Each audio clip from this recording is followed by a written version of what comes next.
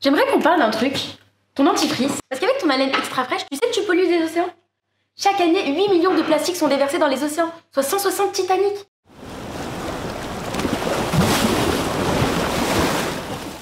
Mais c'est pas de ma faute si les marins abandonnent leur filet de pêche. Cherche la composition de ton dentifrice.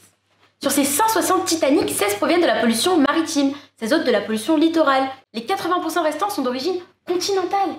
Ça veut dire quoi? PE Polyéthylène, plastique présent dans plus de la moitié des emballages. Mais jette pas mes déchets dans la nature, moi, madame. euh. Sauf que du polyéthylène, il y en a aussi dans ton dentifrice. Tu sais, les microbilles qui blanchissent tes dents, du polyéthylène en paillettes qui rejoindra les, océans via tes canalisations. Tu veux dire qu'il faut que j'arrête de me brosser les dents? Je ne parle pas que de ton dentifrice. Dans mon lycée, on a demandé à chacun de récolter le, le plastique qu'il jette sur un week-end. À trop lent de venir au bayou avec ta poubelle. Figure-toi que 260 personnes ont joué le jeu.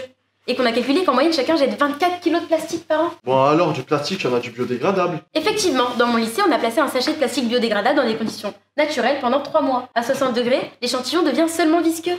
Bah, tu vois, un peu de patience et tout disparaîtra. Sauf que la température des océans est très inférieure à 60 degrés. Et que la majorité des plastiques n'est pas biodégradable. Mais pourquoi tu dis les plastiques? Parce qu'il y en a différentes sortes. Tiens, ton gobelet. Oh, mon gobelet Tu vois, il ne reprend pas sa forme d'origine. Ce n'est pas un élastomère.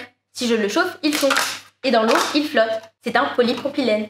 Et cette bouteille, elle est en quoi? En PET, polyéthylène terephthalate. À tes souhaits.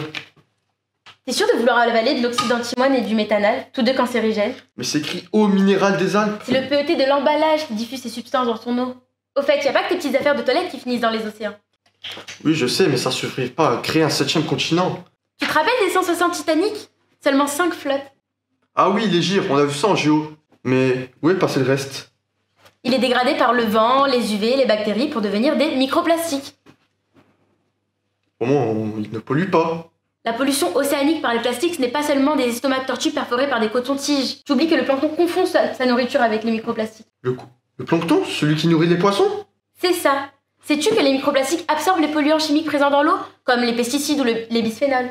Ah, Tant mieux, on sait où ils sont. Dans ton poisson, miam, leurs effets ne sont plus à démontrer. Cancer, infertilité. Mais je croyais que les bactéries dégradaient le plastique. À raison de 0,13 mg par centimètre carré et par jour à 30 degrés. Quand on sait qu'on déverse l'équivalent d'un camion de poubelle de plastique par minute dans les océans, c'est pas gagné. Ok, le plastique issu des hydrocarbures, c'est pas la solution. On peut fabriquer du plastique à partir de pommes de terre, non? C'est vrai, avec un kilo de patates, on a fabriqué 70 grammes de plastique biosourcé dans mon lycée. À l'échelle de la France, on peut en fabriquer 340 000 tonnes. Bah voilà, on a la solution. Bah voyons, c'est pas comme si on manquait de terre, de terre cultivable pour nourrir une partie de l'humanité. Ben alors Bah t'en as des solutions? Au lieu de chercher à fabriquer du bioplastique, il faudrait chercher comment en utiliser moins ou le réutiliser.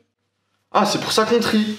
C'est ça, ta polaire c'est du PVC recyclé. Mais moins de 30% des plastiques triés sont recyclés en France. Ok, c'est décidé. J'arrête de consommer du plastique. Pas si simple. Même nos fringues de polyester polluent les mers.